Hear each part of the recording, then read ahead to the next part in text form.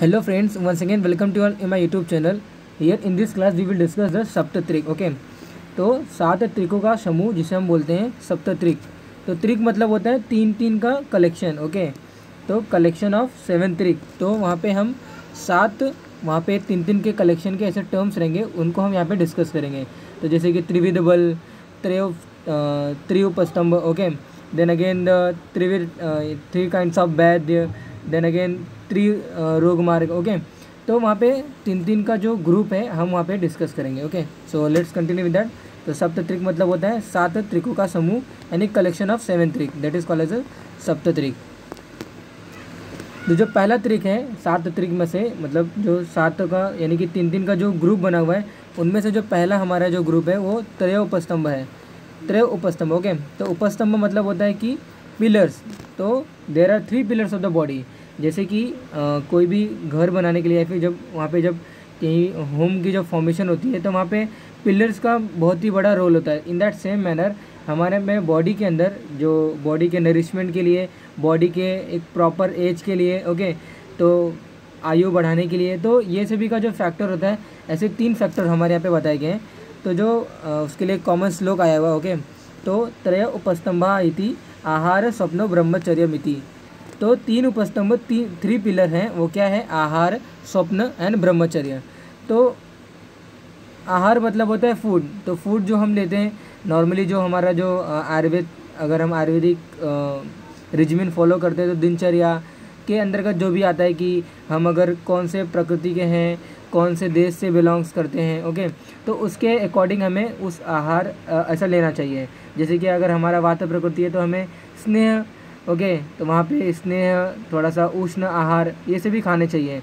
अगर हमारा कफ प्रकृति है तो कफ प्रकृति में हमें रुक्ष, तीक्ष्ण, कटु, ये सभी आहार वहाँ पे खाने चाहिए। तो कहने का मतलब ये है कि आहार का वहाँ पे जो वैल्यू है, बहुत ही इंपॉर्टेंट होता है। और उसके साथ साथ जो विरुद्ध आहार, एक टर्म आता है। तो विरुद्ध आहार में क्या होता है कि हम वहाँ पे एक कंटामिनेटेड फ़ूड जिसे हम बोल सकते हैं, या फिर जो कंटामिनेशन होता है, वो हम फॉलो करते हैं। तो सच एज जैसे कि एक कॉमन वहाँ पे विरुद्ध आहार का एग्जांपल है, जैसे कि फ़िश और जो मिल्क का जो कॉम्बिनेशन होता है ओके और उसका अदर एग्जांपल हम देखेंगे तो इक्वल जो हम मिलाते हैं दैट इज़ नथिंग बट जो हमारा जो घृत और जो हनी होता है ओके तो घी और हनी का जो कॉम्बिनेशन होता है इक्वल में तो ये विरुद्ध आहार को रिलेट करते हैं। तो कहने का मतलब ये है कि आहार जो हमारा होता है, आहार वाला जो फैक्टर है, ये बहुत ही बड़ा मेन रोल यहाँ पे प्ले करता है।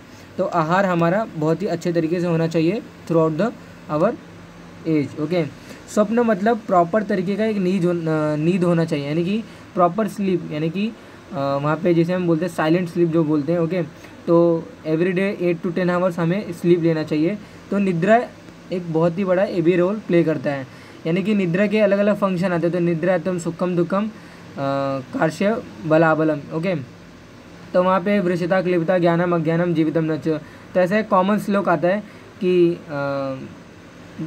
दैट इज़ निद्रा एकदम सुखम दुखम, यानी कि दुख से सुख की तरफ़ लाने के लिए निद्रा एक मेजर रोल प्ले करता है।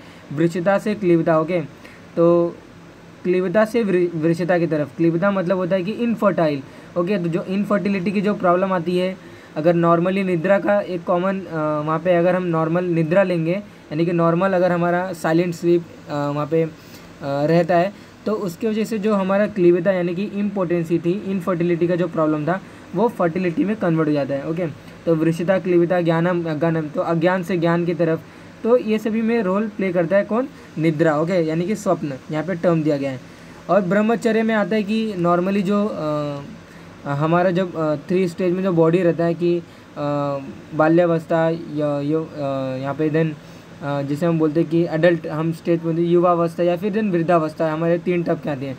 तो ब्रह्मचर्य मतलब ये रहता है कि युवावस्था में जब संभोग होता है ओके तो कॉम्बिनेशन जब होता है कि फीमेल एंड मेल जब वहाँ पे मैरिज होता है तो विदाउट मैरिज जो होता है, यानी कि वहाँ पे कोई इंडल्जन नहीं होता है विद द फीमेल तो उसको हम ब्रह्मचर्य बोलते हैं। तो the following this by the following this आहार, स्वप्न एंड ब्रह्मचर्य we can the three pillars of the body यानी कि गेट मेंटेन तो आहार निद्रा एंड दैट इज़ नथिंग ब्रह्मचर्य not indulging in family life okay तो उनका कोई फैमिली प्लान नहीं होता है। यानी कि फीमेल से उनका कोई संभोग नहीं होता है। तो उसको ब्रह्मचर्य बोलते हैं। तो फॉलोइंग द आहार स्वप्न एंड ब्रह्मचर्य is the main pillars of the body and वो क्या करते हैं कि एक प्रॉपर एज को मेंटेन करते हैं। ओके okay, तो वो था दैट इज़ अबाउट द त्रयोपस्तंभ तो यहाँ पे अभी हम देखेंगे त्रिविध बल ओके तो त्रिविध बल में क्या होता है कि यहाँ पे तीन टाइप के बल पाए जाते हैं, यानी कि three three kinds of strength बताया गया है। तो फ्रॉम बर्थ टू डेथ यहाँ पे तीन अलग अलग बलों का वहाँ पे डिवीज़न बताया गया है ओके तो जो पहला जो बल आता है, उसके लिए कॉमन श्लोक है तो पहले उस श्लोक को देख लेते हैं कि त्रिविधम बलम इति सहजम कालम युक्ति कृतम च। तो सहज बल, काल बल और युक्ति कृतम बल। युक्ति कृत बल काल बल और सहज बल तो वन बाय वन हम देखेंगे कि त्रिविध बल में सहज बल मतलब क्या होता है? काल बल और युक्तिकृत बल।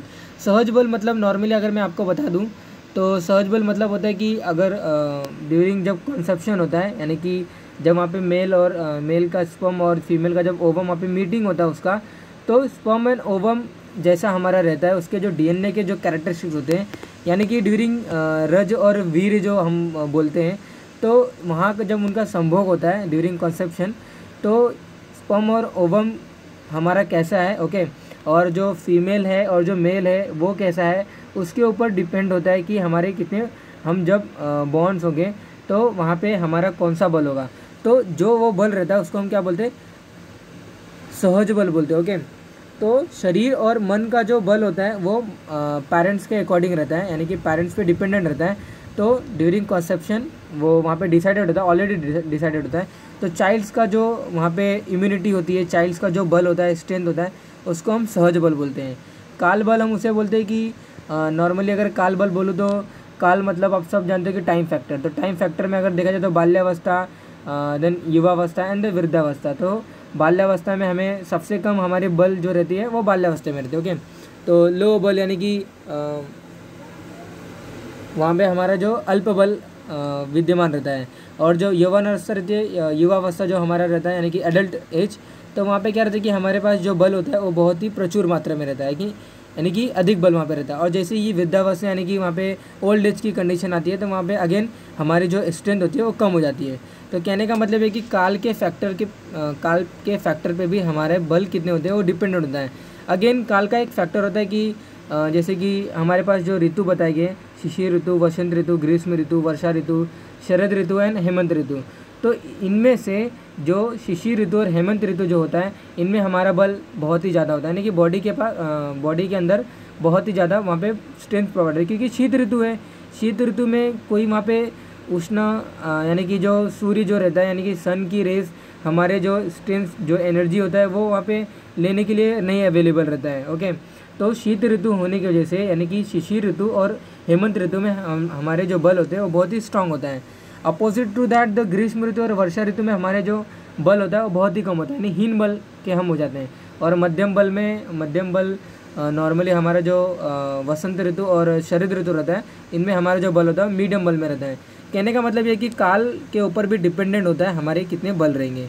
युगतिकृत मतलब बल ये रहता है कि अभी यहाँ पे हमारे जो मॉडर्न इरा होता है, वहाँ पे दो काइंड्स ऑफ़ पीपल रहते हैं, यानी कि हम जिसे पुअर और रिच जो टू क्लास में जो डिवाइड होता है, हमारे जो इंडिया का जो पॉपुलेशन होता है तो जो पुअर पीपल के जो पर्सन होते हैं, उनको न्यूट्रिशियस फ़ूड और वगैरह ये सब नहीं मिल पाता है ओके और जो हमारे जो रिच कंडीशंस के जो फैमिलीज़ के जो मेंबर्स होते हैं, वो easily every one glass of milk every वो घृत का सेवन करते हैं, वहाँ पे देन आलमंड्स कैशोनेट्स ये सब वगैरह खाते हैं।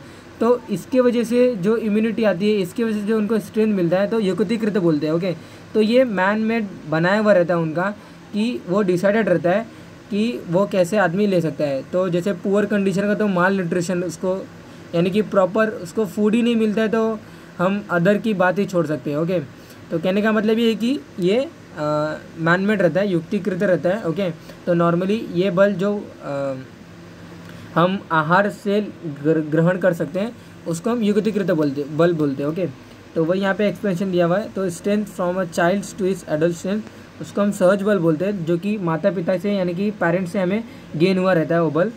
और कालज बल मतलब होता है कि strength which depend on the season and its आयु अवस्था ओके तो आयु अवस्था में वृद्धावस्था में सबसे कम बल आती है ओके और जो हमारा जो आ, जो बाल्यावस्था रहता है उसमें भी हमारा हीन बल रहता है लेकिन युवावस्था जो रहता है हमारे यहाँ पे अधिक बल रहता है।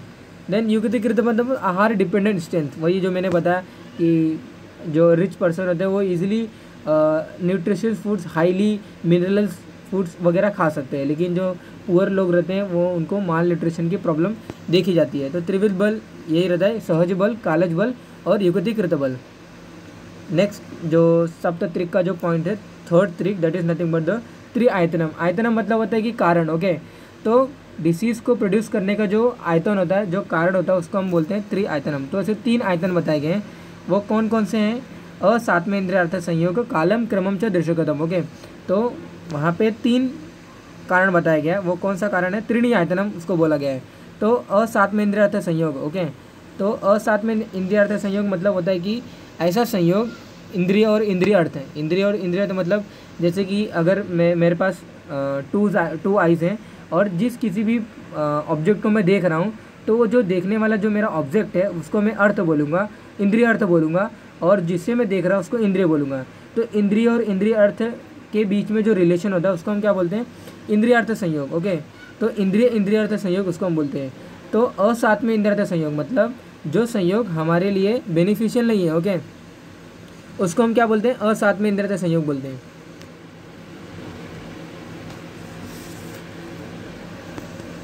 जो नेक्स्ट फैक्टर हमारा होता है, वो काल हो ओके काल मतलब जो नेचर का जो, यानी कि जो नॉर्मली हम जो बोलते हैं कि ग्रीष्म ऋतु, वर्षा ऋतु और जो हमारा next that is nothing but शीत ऋतु।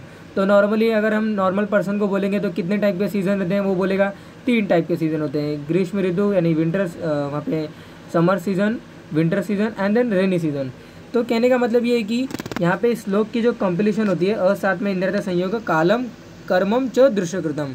वहाँ पे अगेन नेक्स्ट लाइन उसका आता है कि हीन, मिथ्या आती योगे, है ना? ओके तो तथा पुनः त्रिविधाम तो ऐसा वहाँ पे श्लोक की कंप्लीशन होती है, यानी कि कंप्लीट होता है ओके तो कहने का मतलब ये है कि जो असात में इंद्रता संयोग, जो कॉम्बिनेशन यानी कि जो हमारे पास जो पाँच इंद्रिय बताए गए हैं, चक्षु इंद्रिय घ्राण इंद्रिय, ओके, जो फाइव सेंसरी ऑर्गन जो बताया गया है, चक्षु इंद्रिय, घ्राण इंद्रिय, श्रवण श्रवण इंद्रिय देन अगेन त्वक इंद्रिय, ओके देन अगेन त्वक इंद्रिय में स्पर्श इंद्रिय उसी को बोला गया है देन अगेन रसेंद्रिय ऐसा बोला गया तो पाँच टाइप के जो सेंसरी ऑर्गन्स रहते हैं, पाँच टाइप के जो इंद्रिय बताए गए हैं, उनका अलग अलग ऑब्जेक्ट होता है।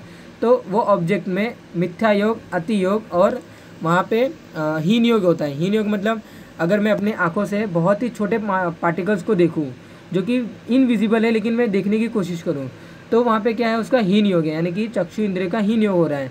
अगर मैं बहुत ही आ, ऐसा अगर एग्जांपल दूँ कि वहाँ पे मेरे पास जो श्रवण इंद्रिय हैं जिससे मैं श्रोत इंद्रिय भी बोलता हूँ तो सुनने की जो कैपेसिटी होती है वो ईयर से होती है ओके तो जो ईयर की जो कैपेसिटी होती है सुनने की अगर वहाँ पर मैं डीजे की आवाज़ सुन रहा हूँ तो यहाँ पर क्या हो रहा है कि वहाँ पर अतियोग हो रहा है ओके तो अतियोग मतलब श्रवण इंद्रिय का वहाँ पे अतियोग हो रहा है यानी कि जितनी उसकी कैपेसिटी होती है उससे ज़्यादा मैं वहाँ पे उसको कर रहा हूँ।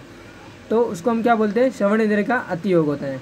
ऐसे एक टर्म है मिथ्या योग ओके तो मिथ्या योग से भी रिलेटेड वही रहता है कि आ, जैसे कि मैं अभी घ्राण इंद्र की बात कर रहा था तो जो नॉर्मली जो उसका फ़ंक्शन होता है, यानी कि सुगंधी, यानी कि जो जिसको एक पर्टिकुलर स्मेल रहता है ओके तो ऐसे घ्राण इंद्रिय का ऐसे वहाँ पे स्मेल लेना चाहिए। लेकिन अगर वहाँ पे मैं बैड स्मेल मालूम होने के बावजूद अगर मैं उसको स्मेलिंग करता हूँ तो उसका मिथ्या योग होता है ओके यानी कि जो बेनिफिशियल नहीं है, वो मैं ले रहा हूँ, उसका जो कॉम्बिनेशन होता है तो ये सभी में क्या होता है कि उसकी वजह से कारण होता है और व्याधि डेवलप होता है। तो और साथ में निरत संयोग, कालम कालम मतलब परिणाम। तो ग्रीष्म ऋतु का मिथ्या योग मतलब कि कभी कभी क्या होता है कि जो ग्रीष्म ऋतु होती है, वो वहाँ पे बहुत ही ज़्यादा समय तक वहाँ पे अपना समर का, यानी कि वर्षा ऋतु का जो टाइम होता है, जून, जुलाई, वहाँ पे ग्रीष्म ऋतु मेंटेन रहता है। तो ये अति योग हो जाता है। अभी मिथ्या योग ये होता है कि ग्रीष्म ऋतु का कि ग्रीष्म ऋतु में वहाँ पे वर्षा आ गई। तो ये ग्रीष्म ऋतु का मिथ्या योग होता है ओके तो ऐसे अलग अलग मिथ्या योग अति योग और हीन योग बताया गया कि ग्रीष्म ऋतु का जो टाइम पीरियड है उसमें समर सीज़न आया ही नहीं यानी कि वन मंथ का समर का वेके सीज़न आया। तो ये हीन योग होता है ओके तो ऐसे तीनों ती, तीनों सीज़न का मिथ्या योग अति योग और वहाँ पे हीन योग होता है ओके कर्म मतलब होता है कि कर्म वहाँ पे शारीरिक कर्म मानसिक कर्म और वाचिक कर्म।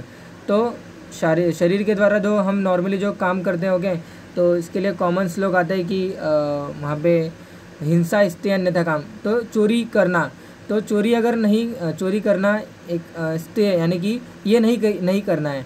तो अगर हम करेंगे तो वहाँ पे क्या होता है कि उसका मिथ्या योग होता है यानी कि शारीरिक कर्म का मिथ्या योग। देन अगेन वाणी से जो हमारे जो वाणी वाचिक कर्म जिसे हम बोलते हैं तो वो वहाँ पे क्या होता है कि आ, हमें अपने जो जो माउथ होती है, उसके थ्रू हमें बैड जो वर्ड्स रहते हैं, उसको प्रोनाउंस नहीं करना चाहिए। यानी, या फिर हम बोल सकते हैं कि जब हम ड्यूरिंग भोजन लेते हैं तो उसके समय हमें बातें नहीं करनी चाहिए। तो जब हम बातें करते हैं तो उससे क्या होता है कि वाचिक कर्मों का मिथ्या योग हो रहा है। तो कहने का मतलब ये है कि शारीरिक कर्म, वाचिक कर्म और मानसिक कर्म। मानसिक कर्म में बता दो कि वहाँ पे जो हमारे मन के लिए जो बेनिफिशियल नहीं है, लेकिन हम तब भी उसको देख रहे हैं। ओके? और वहाँ पे मन के अनुकूल अगर वो नहीं मिल रहा है, जैसे हम चाहिए, और तो इसके वजह से होता है क्या कि मानसिक कर्म का मिथ्या योग, मानसिक कर्म का अति योग, और मानसिक कर्म का हीन योग। तो इन सभी का हीन योग, मिथ्या योग और अति योग की वजह से वहाँ पे कोई भी डिसीज़ का उद्गम होता है, और उद्गम मतलब प्रोडक्शन होता है। तो वन बाय वन हम देखेंगे ओके तो असात में इंद्रिय संयोग मतलब बैड रिलेशन बिटवीन इंद्रिय एंड इट्स ऑब्जेक्ट तो अतियोग, मिथ्यायोग मिथ्या योग हीन योग मैंने बताया। काल का यहाँ पे फैक्टर आता है कि ग्रीष्म ऋतु ग्रीष्म ऋतु में कभी कभी क्या होता है कि अपना जो ग्रीष्म ऋतु का जो सीज़न होता है, वो बहुत ही कम टाइम पीरियड का होता है। तो वहाँ पे ग्रीष्म ऋतु का हीन योग बोलते हैं ओके तो ऐसे ही वर्षा ऋतु, शीत ऋतु का भी मिथ्या योग हीन योग और अति योग होता है। तो मिथ्या अति हीन योग ऑफ़ सीज़न और काल ओके तो कर्म का भी वाणिज्य कर्म, यानी कि हमारे, मैंने जो वाचिक कर्म शारीरिक कर्म और मानसिक कर्म ओके तो इन सभी का भी मिथ्या, अति और हीन कर्मों की वजह से वहाँ पे क्या होता है कि डिसीज़ का प्रोडक्शन होता है। नेक्स्ट जो हमारा जो त्रिक होता है, वो त्रिविध रोग कर रोग आता है। तो त्रिविध रोग में थ्री काइंड्स ऑफ़ रोग रहते हैं। निज रोग, आगंतुज रोग और वहाँ पे मानसिक रोग ओके यानी मानस रोग। तो वहाँ पे जो हमारा निज रोग होता है, निज रोग का जो कारण होता है, वो निज हेतु होता है। यानी कि बॉडी रिस्पॉन्सिबल होता है, उसके वहाँ पे उस रोग का ओके? तो वहाँ पे आपको एरो के थ्रू दिखा दो तो नि, निज रोग जो होता है निज रोग निज हेतु का यानी कि बॉडी खुद रिस्पॉन्सिबल होता है। सच जो हमारे यहाँ पे जो बॉडी के अंदर जो तीन दोष बताए गए तो त्रि जो त्रिदोष जो बताए गए तो त्रिदोष अल्टीमेटली बॉडी में वो विशिएटेड हो जाते हैं due to any kind of reason okay तो बॉडी के अंदर उनका विशेषण होता है। ड्यू टू दैट वहाँ पे जो डिसीज डेवलप होता है उसको हम बोलते हैं निज रोग। आगंतुज रोग मतलब ये रहता है कि आगंतुक या फिर आगंतुज जो भी आप टर्मिनोलॉजी दे सकते हो तो आगंतुक रोग ये रहता है कि एक्सटर्नल uh, फैक्टर की वजह से ओके सो सच एस अगर वहाँ पे मुझे कोई ट्रॉमा लग गया है यानी कि मुझे कोई घाव लग गया है या फिर वहाँ पे आ, uh, कोई शस्त्र यानी कि कोई वहाँ पे नॉर्मली uh, एक हैवी मेटल्स या फिर हैवी कोई रॉड से किसी ने आपके ऊपर वहाँ पे प्रहार किया है देन अगेन अगर दूसरा टर्मिनोलॉजी दूँ कि एक्शनल एक्शनल फैक्टर कोई भी एक्शनल फैक्टर यानी कि कोई भी माइक्रोब्स का वहाँ पे उसके जैसे कोई प्रोडक्शन आ रही है तो मलेरिया वगैरह डेंगू ये सब जो भी, जो माइक्रोब्स के जो प्रॉब्लम आते हैं वगैरह, यानी कि एक्सटर्नल फैक्टर की वजह से जो डिसीज़ आती है, जो एक्सटर्नल फैक्टर की वजह से एक्सटर्नल फैक्टर बॉडी में जाने की वजह से, वहाँ पे विशेषण ऑफ़ दोषा होती है। तो निज रोग में विशेषण ऑफ़ दोषा होता है पहले देन डिसीज़ का मैनिफेशन होता है डिसीज़ में कन्वर्जन होता है। आगंतुक रोग में एक्सटर्नल फैक्टर आता है पहले देन वहाँ पे त्रिविध दोष इम्बैलेंस होता है और वहाँ पे जो डिसीज़ डेवलप होता है, उसको आगंतुक रोग बोलते हैं। तो एक्सटर्नल फैक्टर की वजह से जो रोग आता है, उसको हम आगंतुक रोग बोलते हैं। मानस रोग ये रहता है कि मन के अनुकूल, यानी कि जो वस्तु उसको चाहिए रहता है, वो अगर ना मिले तो उसकी वजह से मानस रोग हो सकता है, या फिर अप्रिय वस्तु means that is nothing but the उसको अप्रिय वस्तु मतलब मन को वो चीज़ अच्छा नहीं लगता है, लेकिन स्टिल अगर हम उसको करेंगे तो वहाँ पे क्या होता है कि मानस रोग हो सकता है। तो तीन टाइप के रोग बताए गए निज रोग, आगंतुक रोग और मानस रोग ओके नेक्स्ट जो हमारे जो सप्तत्रिक में से त्रिविध रोग मार्ग ओके तो जो कोई भी जो डिसीज जो डेवलप होती है, जो दोषों का जो इम्बैलेंस होता है, वो इम्बैलेंस हमारे यहाँ पे अलग अलग स्त्रोतस के थ्रू होता है ओके तो स्त्रोतस में बीमार के गमनम, वहाँ पे वगैरह सिम्टम्स यानी कि जो उसका अति प्रवृत्ति संगो व शरणाम ग्रंथ वा देन अगेन द वी मार्ग गमनम। तो यानी कि वहाँ पे बी मार्ग गमनम एक फैक्टर आता है, लेकिन उसके साथ साथ रोग मार्ग मतलब पाथ ऑफ़ डिसीज ओके तो कैसे डिसीज डेवलप होता है? तो वे टू अपीरेंस और स्प्रेड ऑफ़ एनी डिसीज को हम क्या बोलते हैं? रोग मार्ग बोलते हैं। तो that is of three way तीन वे होता है, त्रयो रोग मार्ग इत्यादि, शाखा मर्मास्ति संदेह कोष्टम च। तो शाखा मतलब वहाँ पे बाह्य रोग मार्ग बताया गया है, मर्म, अस्थि संदेह मर्म मतलब वाइटल्स ऑर्गन सच एज सिर हो गया हमारा। सिर मतलब हमारा जो हेड होता है यानी कि जो, जहाँ पे हमारा ब्रेन कवर यानी कि ब्रेन को एक कवर करके ब्रेन क्लिनल कैविटी जो एक कैविटी रहती है, उसके अंदर हमारा ब्रेन सिचुएटेड रहता है। तो ब्रेन अगर हमारा डैमेज हो गया तो वो सबसे वाइटल ऑर्गन है। ब्रेन हर्ट और जो अम्बलिकस होता है शीर हृदय नाभि। तो तीन मर्म होता है और अस्थि यानी कि कहने का मतलब ये है कि त्रयो रोगमार्ग इत्यादि शाखा मर्मास्थि संध्यम कोष्टम च। तो तीन रोगमार्ग बताए गए बाह्य रोगमार्ग मध्यम रोगमार्ग और आभ्यंतर रोगमार्ग तो बाह्य रोगमार्ग मतलब ये होता है कि जो विशेषण ऑफ़ जो दोषा होता है यानी कि जब आ, कोई भी जो त्रिविध दोष बताए गए उनमें से किसी भी एक दोष या फिर तीनों दोषों का जब प्रकोपित होता है तो बाह्य रोगमार्ग के अंतर्गत वहाँ पे जो सात धातु बताए गए हैं, यानी कि अगर कोई प्रकोपित दोष अगर सातों धातु में जाता है या फिर सातों धातु में से कहीं पर्टिकुलर धातु में जाता है तो उसके वजह से जो डिसीज़ डेवलप होता है, उसको हम बोलते हैं बाह्य रोगमार्ग यानी कि बाह्य रोगमार्ग जो पात होता है, वो रोगमार्ग सादा धातु का होता है। यानी कि जो विशेषित जो दोषा होते हैं, वो सातों धातु में से होते जाते हैं। ओके? कहने का मतलब ये है कि बाह्य रोगमार्ग मतलब होता है कि सात धातु। सात धातु मतलब रस, रक्त, मान समेत अस्थि, मज्जा और शुक्र जो बताया गया है, ये इनका पात होता है, इनका ये रास्ता होता है। इनमें से विशेटेड दोषा होते हुए जाते हैं। तो अगर इनमें से होते हुए जाते हैं, इन धातुओं से होते जाते हैं, स्किन से होते जाते हैं तो वो बाह्य रोगमार्ग होता है। यानी कि वहाँ पे जो डिसीज डेवलप होता है तो उसको हम क्या बोलते हैं? बाह्य रोगमार्ग बोलते हैं। तो बाह्य मतलब सप्त धातु और त्वचा से होते हुए जो विशेषित दोषा वहाँ से अगर ट्रैवल करते हैं और वहाँ पे जहाँ पे वो लोके लोकलाइज हो जाते हैं तो वहाँ पे वो डिसीज डेवलप हो जाता है तो उसको हम बोलते हैं बाह्य रोगमार्ग तो सच एज कुष्ठ व्याधि हो गया विषर्प हो गया तो जितने भी स्किन के जो प्रॉब्लम आते हैं, उनको हम बाह्य रोगमार्ग में कंसिडर करते हैं। मध्यम रोगमार्ग मतलब होता है कि अगर हमारा विशेषित दोषा अगर हेड को इफ़ेक्ट कर रहा है हर्ट को इफ़ेक्ट कर रहा है, या फिर अम्बलिकस नाभि को इफ़ेक्ट कर रहा है, या फिर अस्थि यानी such as humerus bone femurs bone तो जो भी इंपॉर्टेंट जो बोन है, अगर वो उसको इफ़ेक्ट करता है, या फिर संधि, कोई भी जॉइंट्स को अगर इफ़ेक्ट करता है विशेटेड दोषा तो उसको हम बोलते हैं मध्यम रोग मार्ग तो जो मध्यम रोग मार्ग का जो पाथ होता है, वो मर्म होता है अस्थि होता है और संधि होता है। यानी कि इन सभी अगर वे में से वो गया विशेषित दोषा तो वहाँ पे जो डिसीज़ डेवलप हो सकता है, वो उसको हम बोलते हैं मध्यम रोग मार्ग तो सच है आमवात संधिवात ये सभी जो प्रॉब्लम आती है, उसको हम क्या बोलते हैं, मध्यम रोगमार्ग के अंतर्गत वो आता है। आभ्यंतर रोगमार्ग के अंतर्गत ग्रहणी व्याधि आती है कॉन्स्टिपेशन अतिसार व्याधि आती है। आभ्यंतर रोगमार्ग में मतलब आमाशय पकवासे से रिलेटेड यानी कि स्टमक ड्यूडनम इंटेस्टाइन इनमें जो प्रॉब्लम आता है, ये मतलब विसिटेड दोषा आमाशय such as the stomach then again the intestine large intestine small intestine duodenum वगैरह। इनमें से होते हुए जाता है और वहाँ पे वो डिसीज़ डेवलप करता है। तो ड्यू टू दैट द ग्रहणी, अतिसार वगैरह, ये सब प्रॉब्लम आती है। तो उसको हम क्या बोलते हैं? आभ्यंतर रोग रोगमार्ग बोलते हैं। तो कोई भी विशेटेड दोषा को विशेटेड जो प्रकोपित जो दोष में उनका तीन ही पाथवे होता है। उसको बाह्य रोगमार्ग, मध्यम रोगमार्ग और आभ्यंतर रोगमार्ग। बाह्य रोगमार्ग में सातों धातु और स्किन का इन्वॉल्वमेंट होता है। मध्यम रोगमार्ग में मर्म, अस्थि और संधि का इन्वॉल्वमेंट होता है। यानी कि ये इनका पात होता है। इनमें से विशिटेड दोषा ट्रैवल करते हैं। कोष्ठ मतलब आमाशय पकवासे इंटेस्टाइन लार्ज इंटेस्टाइन स्टमक का जो रीज़न होता है, इनमें से विशिटेड दोषा होते हुए जाते हैं। यानी कि वात, पित्त और कफ, जो भी प्रकोपित जो दोष होते हैं, वो वहाँ पे एंटर करते हैं और वहाँ पे अलग अलग चेंजेस इंड्यूस करते हैं। तो तीन ही रोग मार्ग बताए गए तीन पाथवे होता है। बाह्य, मध्यम एंड आभ्यंतर रोग मार्ग नेक्स्ट जो हमारा जो वहाँ पे जो सप्तत्रिक का जो पार्ट है, उसमें आता है त्रिविध वैद्य, ओके? तो त्रिविध वैद्य के अंदर तीन टाइप के वैद्य बताए गए हैं। तो पहला वैद्य आप गेस कर सकते कि अच्छा वैद्य, ओके? तो अच्छा वैद्य किसको बोलते हैं? और आप सोचते रहेंगे, त्रिविध वैद्य में कितने सारे वैद्य आते रहेंगे? तो ये हम बताएँगे, ओके?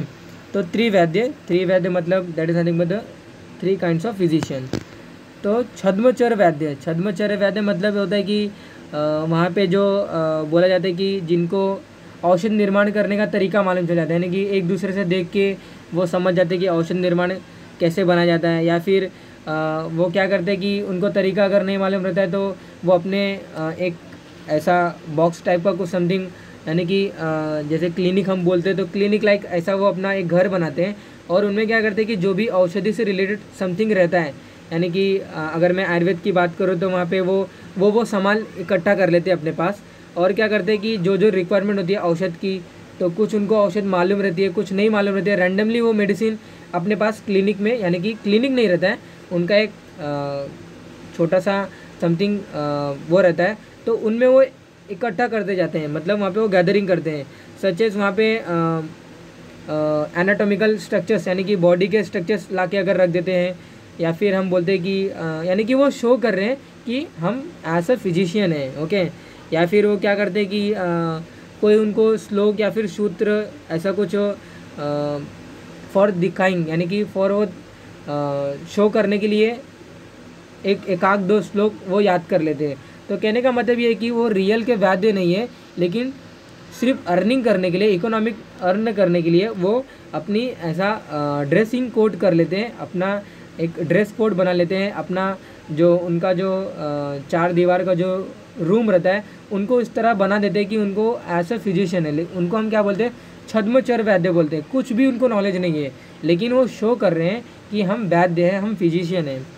दूसरा जो वैद्य आता है, सिद्ध शादित वैद्य आता है। सिद्ध शादित वैद्य में आता है कि वो खुद तो पढ़े लिखे नहीं होते हैं और उनके पास कोई भी जो शस्त्र यानी कि जो भी इंस्ट्रूमेंट वगैरह होता है अगेन वहाँ पे उनको कोई ज्ञान नहीं होता है। छद्माचार्य वैद्य जैसे ही सिद्ध साधित वैद्य होते हैं लेकिन सिद्ध साधित वैद्य में क्या रहता है कि अगर ये सिद्ध साधित वैद्य में ये बहुत ही बड़े लोग रहते हैं। बड़े लोग मीन्स वो थोड़े इनकी जो पहचान होती है वो थोड़े आ, कुछ बड़े वैद्यों से हो जाती है।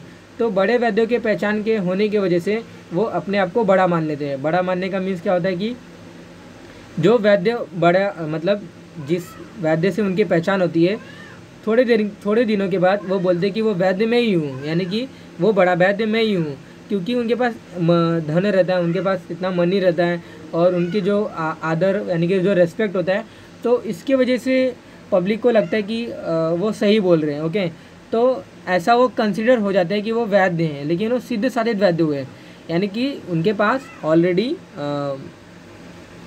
एक रिलेशन रहता है, एक अच्छे वैद्य से और उसी का फ़ायदा उठाकर अपने को वो बोलते हैं कि मैं एक अच्छा वैद्य हूँ ओके मैं वो जो रियल वाला वैद्य था, वो मैं हूँ ओके तो कहने का मतलब है कि सिद्ध साधित वैद्य वहाँ पे, वो वैद्य तो नहीं है, लेकिन सिद्ध अपने आप को सिद्ध कर रहे हैं ओके वैद्य गुणों से युक्त, ये रियल वाला वैद्य होता है, यानी कि इसको मालूम है कि किसको कौन सा मेडिसिन देना है, इसको शास्त्र का ज्ञान मालूम है, इसको शस्त्र का ज्ञान मालूम है इंस्ट्रूमेंट का ज्ञान मालूम है, इसको ये मालूम है कि जो यानी कि जिस प्रकार का जो पेशेंट आ रहा है, उसको किस बेसिस पे हमें क्या ट्रीटमेंट देना है, इसको सब मालूम रहता है। तो ये हमारा रियल वैद्य होता है, यानी कि ज्ञान विज्ञान से ये पूरा रिच होते हैं ओके और इनकी जो चिकित्सा होती है सफलता, इनकी, यानी कि इनका जो ट्रीटमेंट होता है ट्रीटमेंट करने का जो तरीका होता है, इनमें हमेशा इनको वहाँ पे सफलता मिलती है। तो त्रिविध, यानी कि तीन टाइप के वैद्य बताए गए जो छद्मचर वैद्य, सिद्ध साधित वैद्य और वैद्य गुणों से युक्त वैद्य, यानी रियल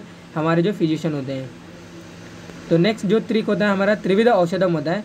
तीन टाइप के दवाएँ बताई गई हैं।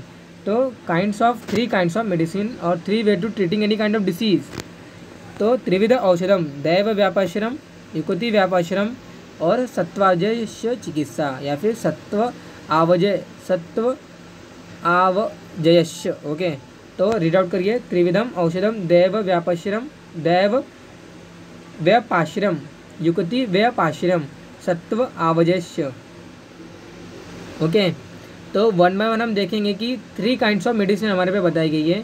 पहला जो आता है वो दैव व्यापाश्रय में आता है। दैव व्यापाश्रय में ट्रीटमेंट ये रहता है कि नॉर्मली अगर हम आ, बात करें तो कुछ लोग ऐसे होते हैं कि उनको आ, वहाँ पे अदृष्ट कर्मज व्याधि होता है। अदृष्ट कर्मज व्याधि एक टाइप ऑफ़ व्याधि होता है जिनमें उनको क्या होता है कि आ, कोई भी पॉजिटिव फैक्टर रिस्पॉन्सिबल होता है कोई भी पॉजिटिव फैक्टर यानी कि कारण उनको मालूम नहीं होता है कि उनको ये प्रॉब्लम क्यों आई है।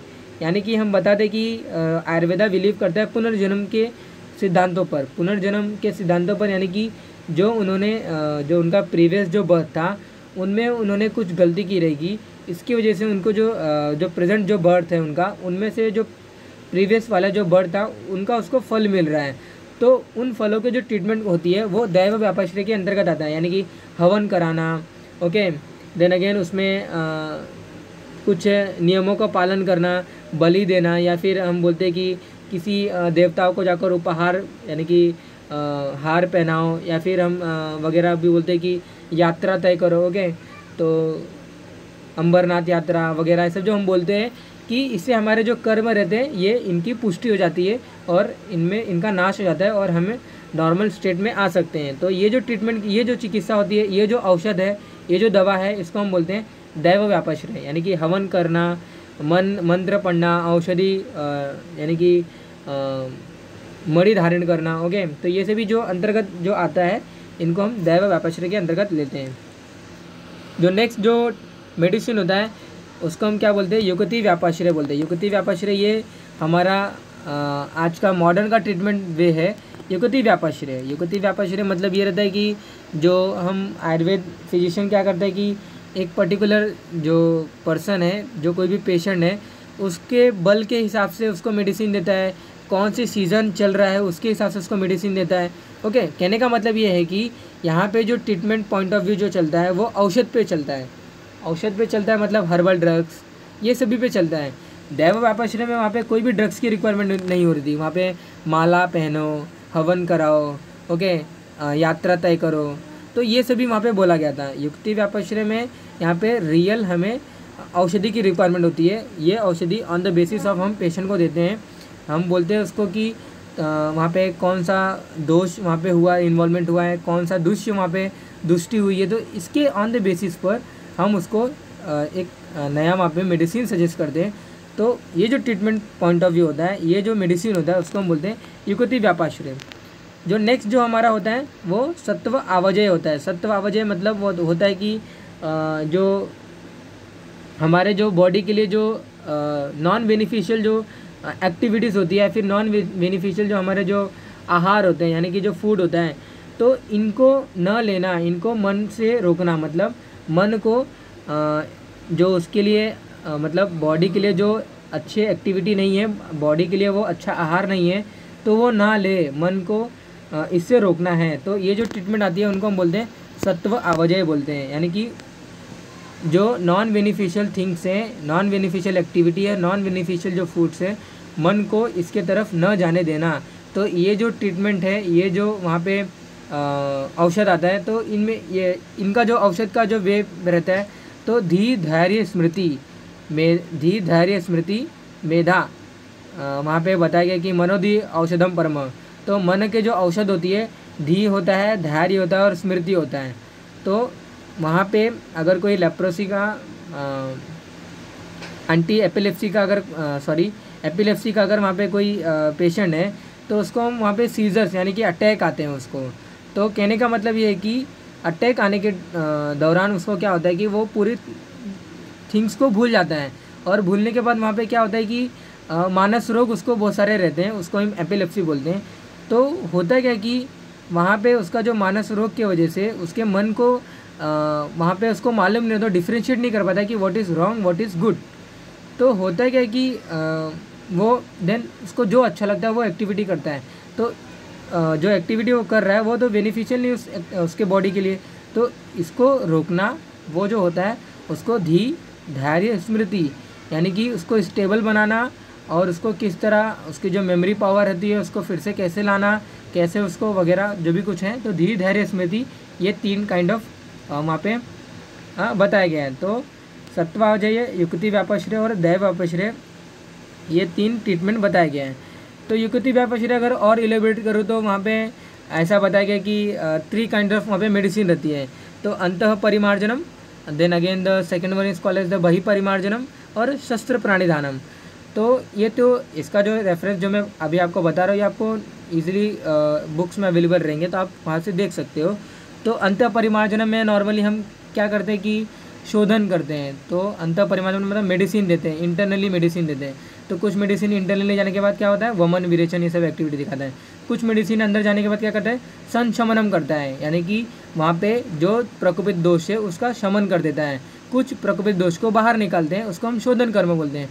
कुछ को, कुछ दो दोष रहते हैं, उनका शमन कर देता है, उसको हम शमन औषधि बोलते हैं। तो शमन औषधि, संशोधन औषधि, ये हम इंटरनली लेते हैं। यानी कि बॉडी में इंटेंडेंट करते हैं। तो वो हमारा अंत परिमार्जनम के अंतर्गत आता है। वही परिमार्जनम के अंतर्गत आता है कि जो हम आउटर कवरिंग यानी कि एक्सटर्नली जो हम जितना भी करते हैं तो सच एज अभ्यंग आता है यानी कि ऑयल का जो मसाज आता है उसके बाद हमारे पास सच एज ऐसे लेपों का वर्णन किया गया है कि आ, मतलब जो हल्दी जो हल्दी का जो लेप आता है तो लेपों का वर्णन अभ्यंग उद्वर्तन ये सभी का जो प्रावधान किया गया है हमारे शास्त्र में तो वो वही परिमार्जनम के अंतर्गत आता है। जो नेक्स्ट हमारा जो शस्त्र प्राणी धानम होता है, यानी कि जहाँ पे हम इंस्ट्रूमेंटल एक्टिविटी दिखाते हैं, जैसे कि अगर पाइल्स हो गया है तो वहाँ पे क्या होता है कि हम उस पाइल्स को जो, वहाँ पे जो एलिवेटेड समथिंग स्ट्रक्चर रहता है, उसको हम काटते हैं फिस्टुला में काटते हैं। तो वहाँ पे हम क्या करते हैं कि शस्त्र कर्म करते हैं, यानी कि वहाँ पे हम छार सूत्र वगैरह ये सब यानी कि इंस्ट्रूमेंटल एक्टिविटी जो भी वहाँ पे एक्टिविटी रहती है तो वहाँ पे हम करते हैं। तो थ्री काइंड्स ऑफ़ ट्रीटमेंट रहती है वहाँ पे।